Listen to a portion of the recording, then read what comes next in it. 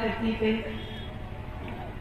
सभी उपस्थित जनमानस, हमारे विशिष्ट अतिथि डॉक्टर साहब, डॉक्टर जगदीश प्रसाद जी, जो दिल्ली से इतनी दूर से चलकर आए हैं हमारे बीच, सभी समाज के संगठन के अध्यक्ष एवं सदस्यगण, हमारे बीच आए हुए लखनऊ से लाला राम सरोज जी जिन्होंने बहुत सुंदर सुंदर भाषण दिया था अभी। साथ ही साथ मेरे ब्लॉक प्रमुख जी, राजू भैया, एवं शहर से आए हुए हमारे नगर पालिका अध्यक्ष प्रतिनिधि मुकेश श्रीवास्तव जी, एवं सभी यहाँ उपस्थित हमारे प्रधानगढ़, कार्यकर्तागढ़ बीडीसीगढ़ एवं रामेश्वर आज़ाद जी, जो आला सम्राट हैं, उनकी पूरी टीम उनके साथ उपस्थित मौजूद सभी समस्त आला गायक और सभी समस्त यहाँ इस कार्यक्रम में उपस्थित अमर शहीद वीरा पासी जी के सम्मान में आज जो ये आयोजित किया गया है कार्यक्रम, विशाल जनसभा जो आयोजित करी गई है, इसमें उपस्थित सभी समस्त जनमानस खास तौर से मेरी माताएँ, बहनें, आप सभी को मेरा सादर नमस्कार। और इस कार्यक्रम में मुझे मुख्य अतिथि के रूप में बुलाने के लिए, स्वागत करने के लिए बहुत बहुत धन्यवाद। आज ये बहुत गौरव की बात है, गर्व की बात है कि अमर शहीद वीरा पासी जी का द्वार, जो, क्योंकि तब मैं बहुत छोटी छोटी थी, बचपन में मैंने देखा था, जो मेरे पिताजी ने स्वर्गीय अखिलेश सिंह जी ने जिला पंचायत में बनवाया था अमर शहीद वीरा पासी द्वार। और आज ये मेरा सौभाग्य है कि आप लोगों के आशीर्वाद से पापा के ना रहने पे आप लोगों ने मुझे विधायक बनाया और अमर शहीद वीरा पासी जी के लिए मुझे भी कुछ करने का मौका मिला राजू भैया के साथ, हमारे प्रमुख जी के साथ, इनके नेतृत्व में हमें कुछ करने का मौका मिला। ये हमारे लिए बहुत सौभाग्य की बात है। और ये खास तौर से मेरे लिए पर्सनल उस पर भी, व्यक्तिगत रूप से भी, हर बच्चा चाहता है कि हम अपने माता पिता के काम को आगे ले जाएँ। और आज मुझे वाकई ये करने का मौका मिल रहा है। जो काम मेरे पिताजी ने किया था, जो द्वार उन्होंने बनाया, उसके आगे भी मुझे आज अमर शरीफ वीरा पासी जी की जो धरती है, जो उनकी पैतृक धरती है, पैतृक गाँव है यहाँ उनको सम्मानित करने का मौका मिला है, ये बहुत ही बड़ी बात है मेरे लिए, एक बेटी होने के नाते भी। क्योंकि मैंने बचपन से अपने पिताजी का कार्यकाल देखा है और हमेशा से मेरा मन था कि उनके काम को आगे ले जाऊँ। और आज आप सबके आशीर्वाद से आपने मुझे विधानसभा पहुँचाया। आपने हमारे प्रमुख जी को मौका दिया। तो अब हम लोग मिलके ऐसे कार्यक्रम कर पा रहे हैं अपने क्षेत्र के लिए। अपने बुज़ुर्गों के लिए, अपने अमर शहीदों को सम्मानित करने के लिए, ये हमारे लिए बहुत बड़ी बात है। इसके लिए आप सबको बहुत बहुत धन्यवाद। तहे दिल से धन्यवाद। मैं डॉक्टर साहब से कहना चाहूँगी कि आपने अभी अपने संबोधन में बहुत सुंदर चीज़ कही जो आपने शिक्षा की बात करी। वो मुझे बिल्कुल दिल को छू गई, क्योंकि मेरे पिताजी भी शिक्षा को लेकर बहुत ही चिंतित रहते थे और हम भी दो बहने हैं। जैसे आपकी दो बेटियाँ हैं, हम भी दो बेटियाँ हैं। और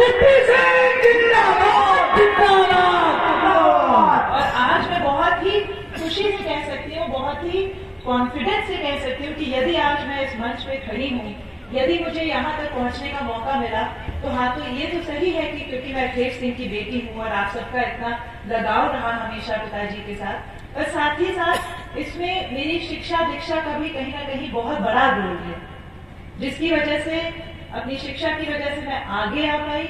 मुझमें वो कॉन्फिडेंस रहा आगे बढ़ने का, अपने पिताजी के काम को आगे बढ़ाने का। और मेरे पिताजी इसीलिए हमारी शिक्षा पे बहुत ज़ोर देते थे। हमको भी उन्होंने अमेरिका में रह के पढ़ाया, ताकि हम वहाँ से पढ़ के जब आए तो अपने क्षेत्र को ज़्यादा विकसित कर पाए। अभी माननीय डॉक्टर साहब ने कहा कि जो भी बजट होता है, किसी भी सरकार का, उसका 20 परसेंट बजट जो है, वो शेड्यूल कास्ट में अनुसूचित जनजाति में खर्च किया जाता है। डॉक्टर साहब, मुझे बताने में बहुत गर्व हो रहा है कि हमारी सदर विधानसभा में चाहे वो ब्लॉक का बजट हो, चाहे वो विधायक निधि हो, चाहे वो नगर पालिका निधि हो, हम लोग 50 से 70 परसेंट सबसे पहले अपने खर्च करते हैं। और उसके बाद जो होता है, वो अन्य समाज में खर्च करने का काम करते हैं। जब हमारे पास नगर पालिका आई तो सबसे पहले जो भी उस समय बजट था, पूरा का पूरा माननीय स्वर्गीय विधायक जी अखिलेश सिंह जी ने, जो शहर के आंशिक क्षेत्र हैं सर, जो आउटस्कर्ट में गाँव हैं, जो अब शहर शहरी क्षेत्र में जुड़ गए हैं, उनको विकसित करने का काम किया। जहाँ अधिकांश मात्रा में हमारे एससी समाज के लोग बसते हैं। जो आपने अभी शिक्षा की बात करी आपने दरअसल हम इस, इस बारे में बोलने ही वाले थे पर आपने उससे पहले ही इस चीज़ पे आ, बात करी। मुझे बहुत अच्छा लगा ये कहते हुए। बहुत ज़्यादा भी नहीं बोलूँगी क्योंकि अभी काम चल ही रहा है उस दिशा में दिशा में पर हम यहाँ अमर शहीद वीरा पासी जी के नाम से एक इंटर कॉलेज खोलने वाले हैं। मैंने लिखित में माननीय मुख्यमंत्री जी को भी दे दिया है। और अन्य माननीय मंत्रियों को भी दे दिया है जो विभाग से विभा, विभागीय मंत्री हैं।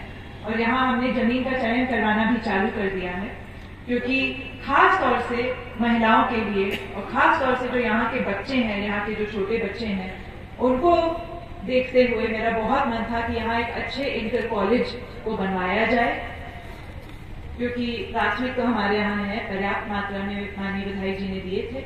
और मेरा बहुत मन था कि यहाँ एक अच्छा हायर इंस्टीट्यूट हो हायर एजुकेशन का एक इंस्टीट्यूट हो। तो ये मेरा सौभाग्य है आप सबको बताते हुए कि जहाँ तक है, जल्द से जल्द हमारा बीरा पासी इंटर कॉलेज का काम शुरू हो जाएगा। वो सारी की धरती मैंने अपने पूरे कार्यकाल में ज़्यादा से ज़्यादा ध्यान, शिक्षा, दीक्षा को दिया है।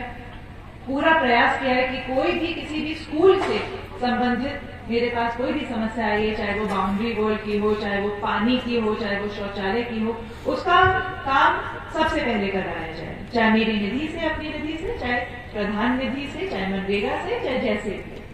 तो ये मेरी प्राथमिकता है थी और आगे भी रहेगी। सबसे पहले हमारे बच्चे जब शिक्षित होंगे, तभी वो विकसित होंगे। सीधी सी बात। मेरा यही प्रयास रहा है कि अपने क्षेत्र को सुरक्षित रखूँ यहाँ ना तो कोई गुंडई होने पाए, ना तो कोई अराजक तत्व आके हमारे लोगों को परेशान करे, हमारे गरीबों को परेशान करे। यही पूरे पाँच साल मेरा उद्देश्य रहा है, मेरा प्रयास रहा है अपने क्षेत्र को सुरक्षित रखना। आसपास की विधानसभाओं में क्या होता है, उस टाइप का कोई कार्यक्रम हमारे यहाँ ना हो। हमारे लोग खुश रहे, सुखी रहे और कम से कम कहीं से प्रताड़ित ना हो। कम से कम कोई उनको प्रताड़ित ना करे, कम से कम कोई उनकी जमीनें हड़पने का काम ना करे। यही मेरा उद्देश्य है कि और कुछ कर पाए, ना कर पाए, कम से कम अपने लोगों को सुरक्षा, संरक्षा तो दें, ताकि वो आगे बढ़ सके। और आगे भी यही मेरा प्रयास रहेगा, यही मेरी आप लोगों से अपेक्षा है, अनुरोध है कि इसी काम में मेरा हाथ बटाइए, कंधे से कंधा मिला के चलिए, ताकि हम अपने क्षेत्र को विकास की ओर, तरक्की की ओर और ले जाए। जितना मुझसे होगा, सदैव आपके साथ खड़ी हुई हूँ। जहाँ भी आपको मेरी ज़रूरत महसूस हो खास तौर से अपनी माताओं बहनों का, जिसका पूरे पाँच साल मुझे, जिनका अपार स्नेह मिला है अपार स्नेह। तो इसके लिए मैं बहुत बहुत आभारी हूँ, बहुत ऋणी हूँ। और एक बात फिर सबसे ज़्यादा मैं अपने ब्लॉक के प्रमुख जी को धन्यवाद देना चाहती हूँ, राजू यादव जी को धन्यवाद देना चाहती हूँ, जिन्होंने बहुत मेहनत से, बहुत शिद्दत से इस कार्यक्रम का आयोजन किया और बहुत शालीनता से इस कार्यक्रम का आयोजन किया। एक सफल कार्यक्रम पे उनको मैं बधाई देना चाहती हूँ, एवं धन्यवाद देना चाहती हूँ। बहुत बहुत धन्यवाद। जय हिंद, जय भारत।